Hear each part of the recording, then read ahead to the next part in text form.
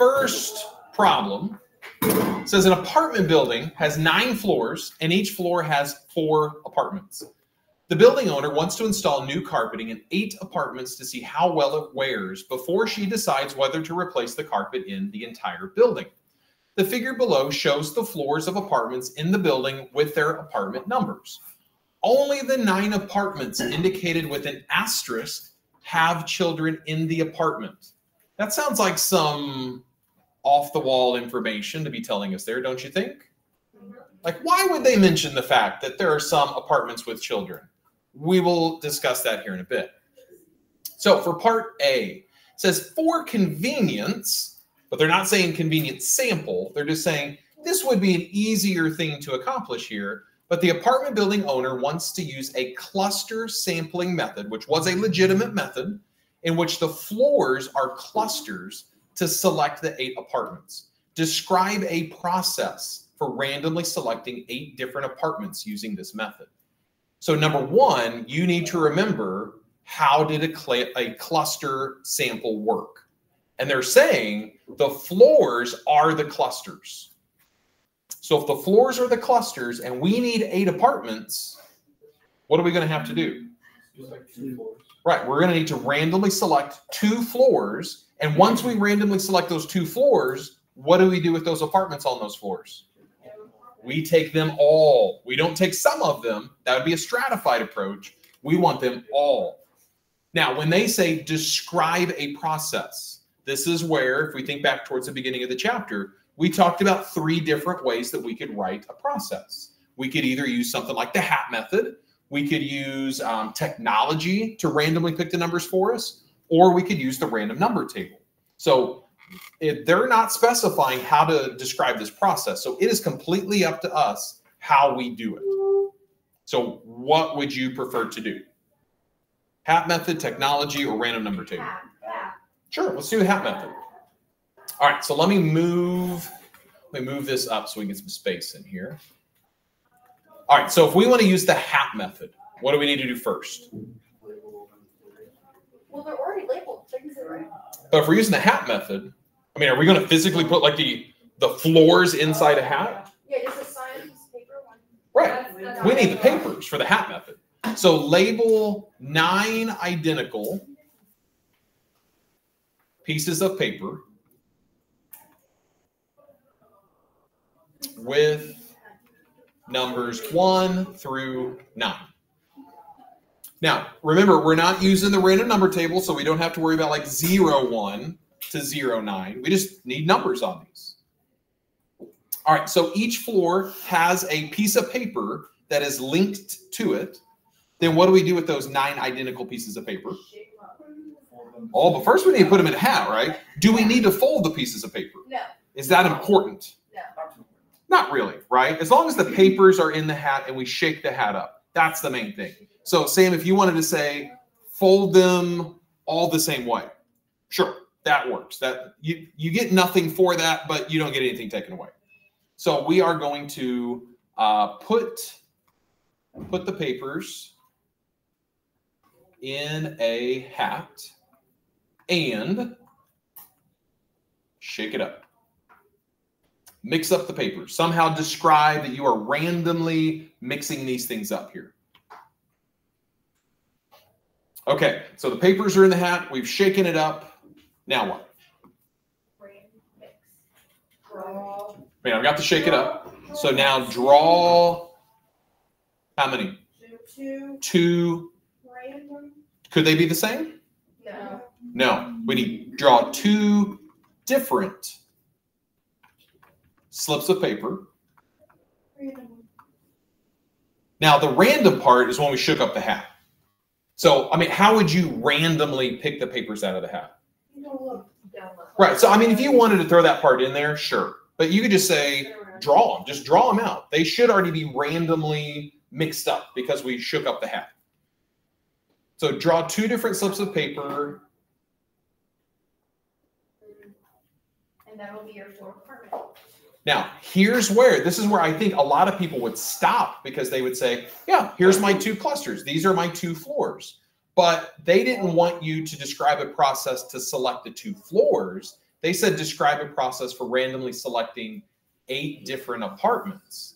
So we're like 95% of the way there of getting those eight different apartments. So we've got those two slips of paper that represent two floors. And then this is where you need to have that full understanding. So this is where we need to verify that we really know what a cluster sampling technique is. It's not just that we select the clusters, but now what do we do with all those apartments on those two floors?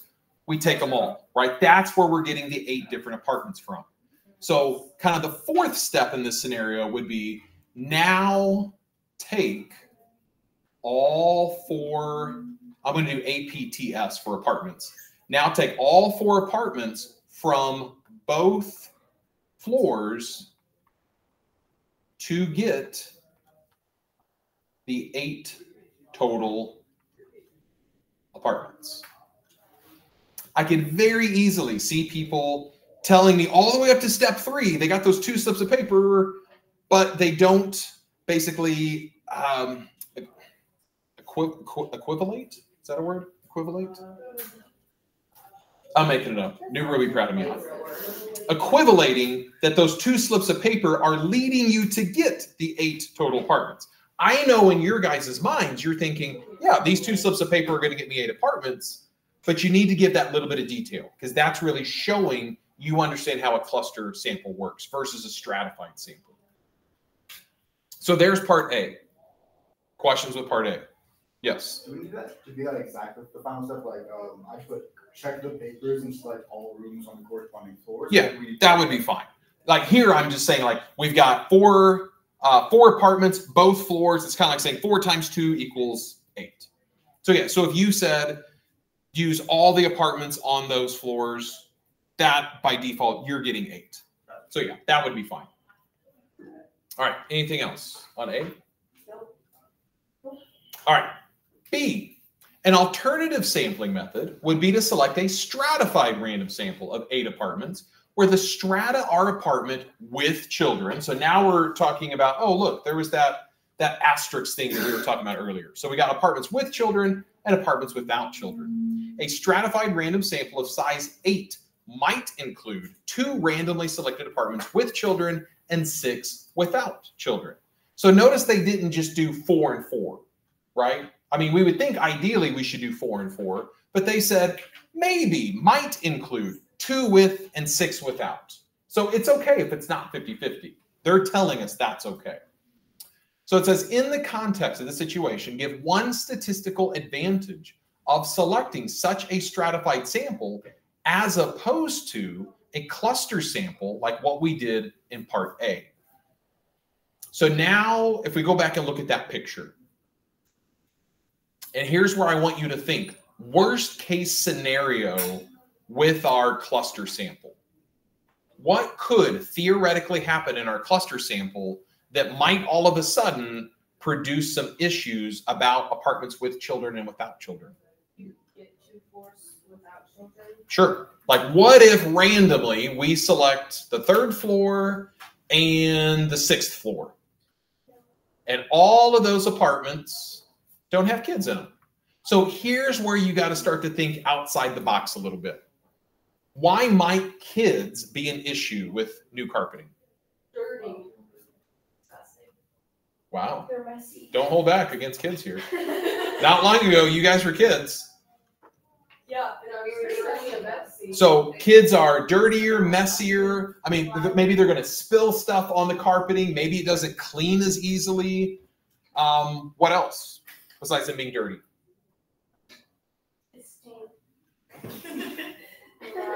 Um, With might tear up the Dirt, filth, stink. There's more people. What other kind of effect might kids have on carpeting? They get teared up. Right, they're going to be running around, right? They, they got toys, or you know, they're going to be covering more ground in this apartment than you know. Let's say like grandma and grandpa live in apartment sixty-one, and all they're going to be doing is walking from their recliner to the refrigerator to the bathroom back to the recliner. Like they're not going to be you know running around on the carpeting. They're not going to be like running and sliding on the carpeting. They're not going to be playing with their toys on the carpeting like kids are just going to be in general tougher on carpeting so that's kind of the difficult part about this problem is you kind of have to think about why would kids being in an apartment present a difference here compared to apartments that didn't have children. All right, so when we write this answer out, we really need to write two separate things that are linked together. Number one, we need to talk about the statistical advantage of using a stratified sample, but we're also going to need to discuss kind of the con of using a cluster sample. So it's great if you tell me what's great about the stratified sample, but you also need to tell me why that all of a sudden is a bad thing for the cluster. So we're going to have to talk about the pro of the stratified and the con of the cluster. So I would say we just talked about the con of the cluster is we could theoretically select two floors that don't have any kids on them. And then we're not truly going to know if that carpeting is great carpeting for all apartments because we think kids might be tougher on the carpeting. Now, I, there's a really good chance you're going to end up with two two floors that are probably going to have kids in them, right? I mean, how many floors are there altogether that don't have any kids? Three of them, right? The third, the fourth, and the sixth. There's a really good chance you're probably going to pick um, you know, the first, the second, the fifth, the seventh, eighth, or ninth floor as one of your two clusters. There's a really good chance that's going to happen. But theoretically, you might pick the third and the sixth, or the fourth and the sixth, or the third and the fourth. It could happen. So let's talk about first why the cluster sample is bad. So I would say that we could possibly pick, randomly pick, two floors that have no children.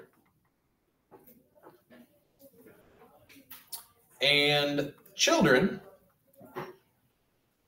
might be this is gonna, you're gonna pick your word here tougher rougher harder harder, better, faster, stronger. Um, I don't know, dirtier. What, whatever, whatever you wanted to throw in there. Okay, children might be. I don't. know, They're going to be different, but you got to describe how they're going to be different. So I would say if you picked any one of those four terms, you're describing the difference there. And children might be tougher on carpeting than adults.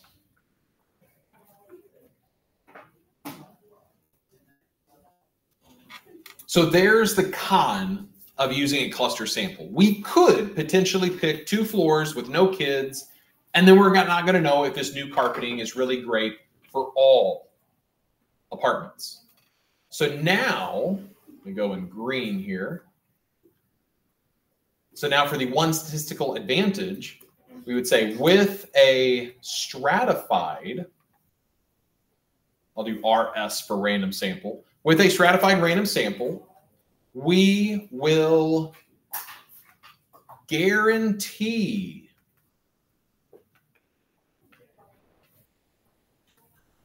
that we will select no again I'll do APTS for apartments we will select apartments with and without children. So that we will see um, how the carpeting wears in both types of apartments. So they may find, um, maybe in the non kid apartments, maybe they find that the carpeting they put in works great for adults or old people. And so then maybe they decide, hey, how about the apartments that have kids? Let's spend a little bit extra money and let's buy a higher quality heavier duty carpeting just in those apartments because man alive, those kids tore the crap out of this carpeting. We need something better. Let's spend a little bit extra money on just those apartments. Now, part of the problem with that might be these people aren't going to live in these apartments forever, theoretically. Like they may move out. So, like, I don't know, grandma and grandpa die. They get moved into an old folks home. They, I don't know, they, I don't know, they, they, they move in with their kids or something. I don't know. And then all of a sudden, like a new family moves into that apartment and it's got the, the old people carpeting. So there's always issues to consider here. All right, questions with part B. So I would say this is a very common uh, free response type question. Where notice in part A, they had a cluster, part B, they had stratified, and then ultimately in this problem, they said, hey, let's talk about why one of these is better than the other. Now, in this one, they said stratified is better than a cluster. There could be a completely different problem where we may say cluster is better than stratified. Morgan, we're recording here. Go all the way. All right, number two. Because of concerns about employee stress, a large company is conducting a study to compare two programs, Tai Chi or yoga, that may help employees reduce their stress levels. So they go on to describe what Tai Chi is, they go on to describe what yoga is. Basically, just think of Tai Chi and yoga are fairly similar to each other. They have different origins, um, but it, it's kind of the same idea, right? It's like slow breathing and stretching. You're not really doing like rigorous exercise here, but it's more about like decompressing, but also, I don't know, kind of like strengthening your core essentially. All right, says the company has assembled a group of volunteer employees to participate in the study during the first half of their lunch hour each day for a 10 week period. Each volunteer will be assigned at random to one of the two programs. Volunteers will have their stress levels measured just before beginning the program and 10 weeks later at the completion of it. So, part A a group of volunteers who work together ask to be assigned to the same program so that they can participate in that program together. Give an example of a problem that might arise if this is permitted. Explain to this volunteer group why random assignment to the two programs will address this problem. So think about an example that might arise. Why might it be a bad idea to allow people to decide which group they want to be in? Because they want to be with their friends. You be less stressed around your friends. Right. So this is again, this is kind of like talking about the the children with the carpeting example. You got to think a little bit outside the box here. If you're allowed to work with your friend, your coworker friends, um, what do you think is going to naturally happen to your stress levels? Yeah, it's probably going to go down. You're hanging out with people you like, right? So now we got to discuss if you get to hang out with people that you like, that are your friends, um, when we see that your stress level goes down, is it because you hung out with your friends or was it because you did Tai Chi or yoga? We don't know. What was that called? Confounding. So, so allowing the people to decide for themselves, that's kind of a confounding variable, right? But they're saying, hey, we shouldn't allow people to be with who they want to be with. Let's let random assignment choose that for us. The other thing to consider here is what was the what was really the main reason why that we should use random assignment in an experiment? What did using random assignment allow us to conclude in an experiment? Causation. Right. So without random assignment, what are we what can we conclude? Correlation. Right. We can see a correlation, but we can't say that the treatment was the thing that caused a change in the response variable. All right, so now let's start to consolidate all that there. So random assignment, oh here, let me just do RA. Random assignment will allow us to establish causation over correlation. Now, someone earlier um, said, well, even if we use random assignment, couldn't it theoretically happen that all of those people are randomly put into the same group? I said, yeah, that could happen. Will that confound the results of the experiment? Absolutely, it will. But if we allow random chance to put the people in the groups for us, then that was beyond our control.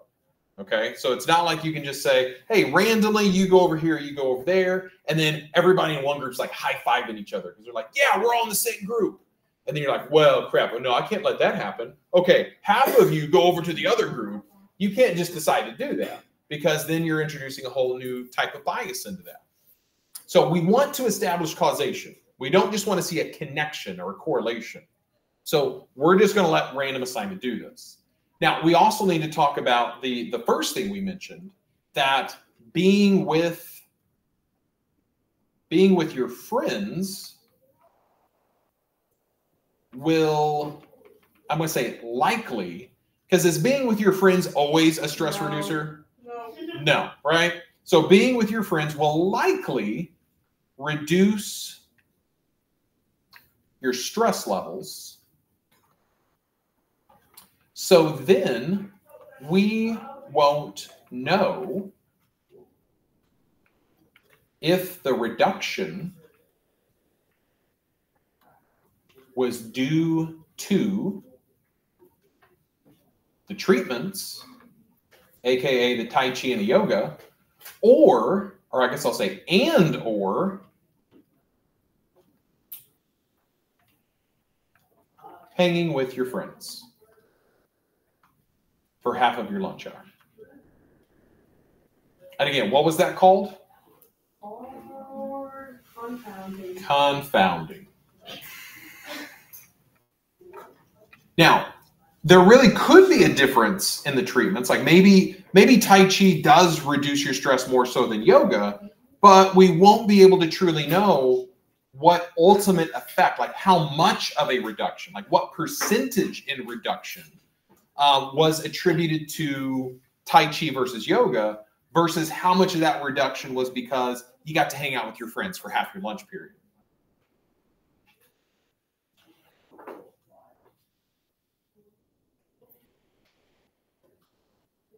Questions? Part A?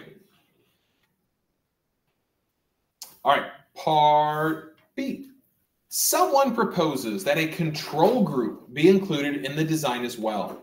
The stress level would be measured for each volunteer assigned to the control group at the start of the study and again 10 weeks later. What additional information, if any, wouldn't that be like a kick in the whatever if if the answer was, oh, there is none?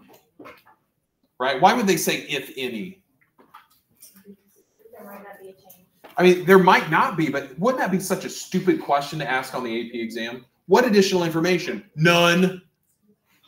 Wow, wow, thanks for that awesome answer there. Yeah, there, there is none. But what additional information, if any, would this provide about the effectiveness of the two programs? So, what we first need to discuss is if they do include a control group, what would that control group look like? What would they experience? Nothing, right? We're just going to say, hey, that first half of your lunch hour each day for a 10 week period, you just do whatever you want to do. Now, what might those people do during that half hour? Uh, Hang out with friends. Sure. I mean, could they go outside and be like, I'm just going to do Tai Chi on my own? Maybe. They could do crossword puzzles. They could read. They could go to the bathroom. They could, you know, call somebody. They could, who knows? But could they do something that would lead to a reduction in their stress levels? Yeah. They could, right? Now, the other thing to consider here is again, you got to think outside the box here. So I want you guys to imagine you work for a large company. Now, they don't give any specifics about this large company, but let's say you work for a large company. Okay. And let's say at this large company, they have, I don't know, like a project comes up. So you've got a, a project, you have to meet deadlines. What do you think is going to be true about your stress levels? Right. So you're under a deadline, you've got stuff to get done, you got stuff to turn into your boss. I mean, your job's kind of on the line here, right? So what if there was a big project at work and all of a sudden, so let's say this is like right before this program begins, and they go, man, everybody's stress levels are through the roof. Well, what if this project ends in eight weeks? And this is a 10 week experiment. What are we probably going to see is true about everybody's stress levels after 10 weeks? They lower After the project's done, Like week nine and ten will be lower. It'll lower down. after the project's done. Like It's going down. you have turned in your proposals, you've basically done like all the hard work. thought the yoga was done. Oh no, no, no, no. So I'm saying like, what if after eight weeks you're done with your big project oh, at work, and then you still have two more weeks to go by, right? So I mean, even if we said the project, your big project at work ended the day before the 10 weeks was up, your stress levels are going to go down because you're not as stressed out at work. Um, another thing to consider would be like, what if right before the Tai Chi yoga experiment, there's some word going around the company that um, some people are going to get laid off. Yeah, or they're going to sell to a different company. What's going to happen to your stress levels? They're going to go up. And then let's say 10 weeks later, it all gets resolved. You still have your job. Nothing has changed. What's going to happen to your stress levels? They're going to go down. Okay. So this control group is really going to provide a, a baseline to compare the Tai Chi and the yoga to. All right. Because again, there could be other variables. Variables. What can we call those other variables? Confounding variables. Right. So I just mentioned some confounding variables, like what if there were layoffs? What if there was a big project? But what if there were other variables that I did not consider? variables. Those would be lurking variables. So there could be other variables, confounding or lurking, that would maybe make the stress level change, either increase or decrease, in such a way that it is not attributed to the Tai Chi or yoga alone. Okay. All right. So now we gotta now we gotta consolidate all this and write it all out. Okay. So what additional information? So the control group, the control group will give us a baseline comparison to the actual treatment groups. Because um, other, I'll just call them other factors, because other factors at work could lead to a, I'll just say a change, whether it's an increase or a decrease, but could lead to a change in stress levels for all employees, not just the ones doing the Tai Chi and the yoga, uh, but everybody in general.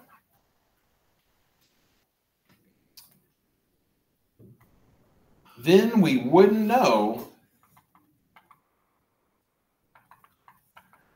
if the treatments, Tai Chi versus yoga, if the treatments themselves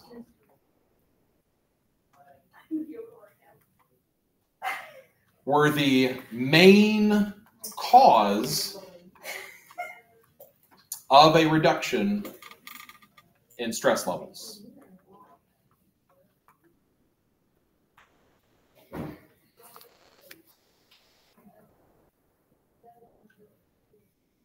So I'll be honest with you, there was one year that I had to grade basically the chapter four style question on the AP exam. And I just want you guys to picture we've been writing a lot for these parts, right? Yeah. Um, we spent, well, I'm not going to say we spent the most amount of time because we all spent the same amount of time at the AP grading. Uh, but we were the slowest graders on this problem because there was so much to read versus like other people that only had to grade like a probability question that involved doing some some math, like not very hard math. Uh, they could fly through those problems, and then all of a sudden we're like, well, after five days, we've graded, I don't know, like sixty percent uh, of all of these problems. And then meanwhile, some other people that are on different questions, they're like, oh, well, we're like 90% done with ours. So then all of a sudden they get trained to do our question and then they felt our pain. They're like, oh my gosh, this takes forever to grade because there's so much writing involved with some of these problems. All right, questions with part B. All right, C. Is it reasonable to generalize the findings of this study to all employees of this company? I would say so, no, Why not? because they're volunteers. Yeah. They were volunteer employees. Now, when is it acceptable to generalize the findings of the study to all people? randomly selected. If they were randomly selected from all people, from all the, the population. So we're going to kind of answer that one in two ways. So, in general, is it reasonable? No, because they were volunteers and not randomly selected from all employees.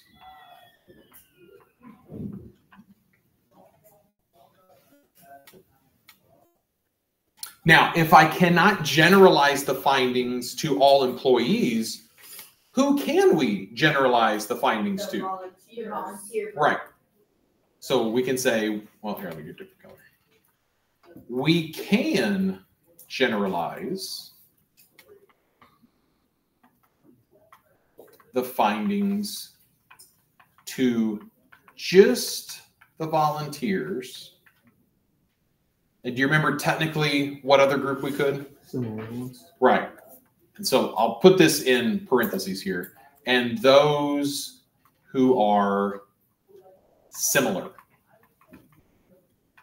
to the volunteers. Now, someone first hour asked, what if I didn't write that part, the, the similar part?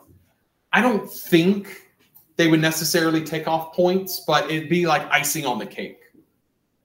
Because again, what, what does it mean, people who are similar to the volunteer? Does that mean that they have to be like like an identical twin? Like it's their doppelganger? Like how what's the definition of being similar? And and that's kind of up for debate. I don't know. So I definitely like just saying the volunteers themselves. That's who we can definitely apply this to. All right, questions with part C.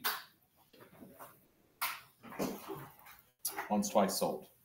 Okay, number three. This is definitely going to give you uh, the the variety of corn blocking example that we did the other day. This is going to give you those vibes. Students are designing an experiment to compare the productivity of two varieties of dwarf fruit trees. The site for the experiment is a field that is bordered by a densely forested area on the west, aka left side. So all of those little like I don't know blobs that are over here, that's the densely forested area. The field has been divided into eight plots of approximately the same area. So each of those little squares represents a plot. The students have decided that the test plots should be blocked. Now, here's the part where we're going to have to really kind of dissect this next sentence because there's a lot to unpack here. Four trees, two of each of the two varieties, will be assigned at random to the four plots within each block with one tree planted in each plot. Oh. Got that? Everybody clear? Instructions to plant them, I wouldn't have planted them. I don't know why uh, whoever wrote this question thought that that was a proper, I don't know, clear statement to make there. But I feel like they could have split that sentence up into two just to make it a little more clear. All right, so let's break that down. They want four trees. Now, when they say four trees, they're saying two of each of the two varieties. So two times two, there's our four trees. Now, here's what I would recommend that we do. Let's name the two varieties of trees. And I wouldn't necessarily call them A and B because later we're talking about blocking scheme A and B. So what if we just called the two varieties two. One and two? Now we have variety one and variety two, and they're saying we want two of each of those. So in the end, there's going to be four trees, and what are those four trees really going to be labeled as? One, one, two, two. Right. There's going to be one and a one and a two and a two. So we got two ones and two twos. And those four trees, the two ones and the two twos, will be assigned at random to the four plots within each block. So when we look at, let's say, blocking scheme A, they're saying this gray shaded region here, that's a block. We're going to put two ones and two twos in those four blocks there, in those four squares. Same thing's going to happen like over here, let's say in blocking scheme B. In this gray shaded region, there's going to be two ones and there's going to be two twos randomly assigned to those. Okay. So it says the two blocking schemes shown below are under consideration. For each scheme, one block is identified by the white region and the other block is indicated by the gray region. So now the first real question here. Which of the blocking schemes, A or B, is better for this experiment? Um, Block B. Does it have like, um, guaranteed two trees of one type closer to the forest and two trees of one type further from the forest? Mhm. I don't know. Maybe, maybe. I'm. All right. Now, before we get into the nitty gritty here, you got to consider they mentioned something that was different in this problem. We got a densely forested area. And so, what do you think is going to be true about the trees in this densely forested area? You're blocking the sun. From what? From what type of trees? Dwarf fruit. Dwarf fruit trees. How big are these dwarf fruit trees? Morgan size. Wow. We have Solomon trees and Morgan trees. Okay. So we have small fruit trees. So I want you to imagine this is where you got to think outside the box. What if we plant these small dwarf fruit trees right next to a densely forested area? Why might that be an issue? They won't- That's fine. Why won't they do as well? Or- Because the sun's getting blocked. and- Sure. Sunlight It might be restriction, more nutrients. more out of the nutrients soil. out of the soil. What's the third thing all plants need? Water. So So th- this densely forested area is going to probably start sucking away all the resources that these dwarf fruit trees need here. So we want to guarantee that both types of trees, that variety one and variety two, are going to guarantee to be planted next to that densely forested area. So now, blocking scheme A or blocking scheme B will accomplish that. A. A, because it's guaranteed two of, uh, two of type one and two of type two next to the trees, because it's one line right next to it.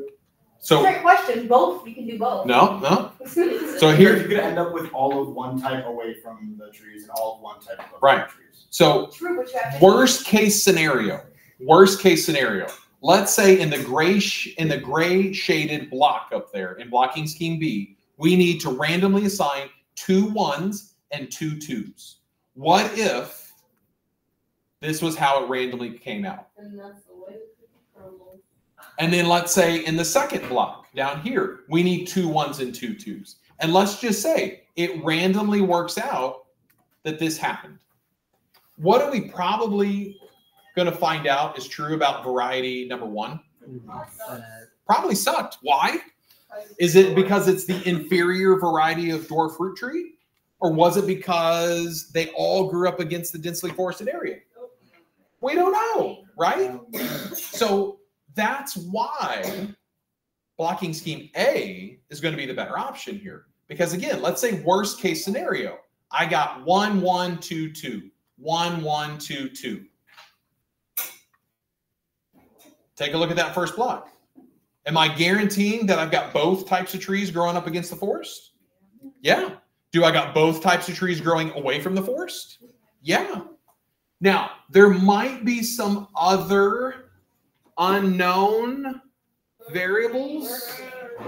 Did they mention about anything else that's different in these scenarios? Nope.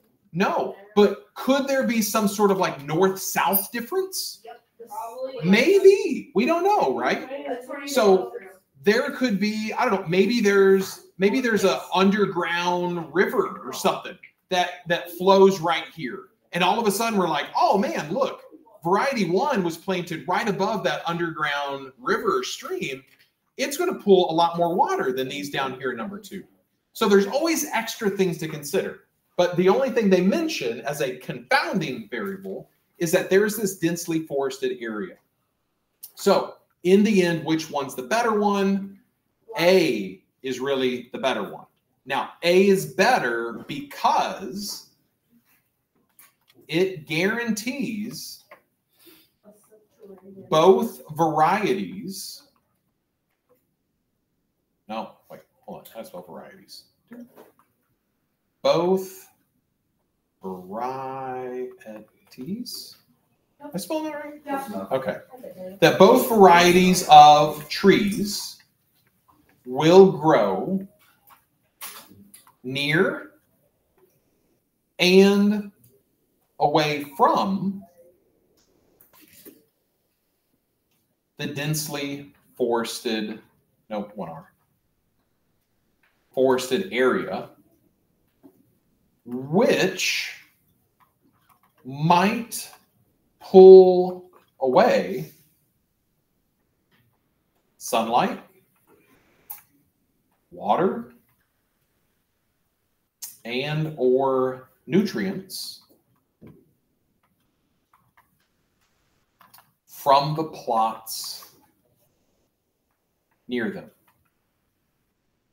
So again, we won't know if the trees that are right up against the forest is it because they're the crappy tree or was it because they weren't given the same opportunities to grow like the trees planted away from the forest?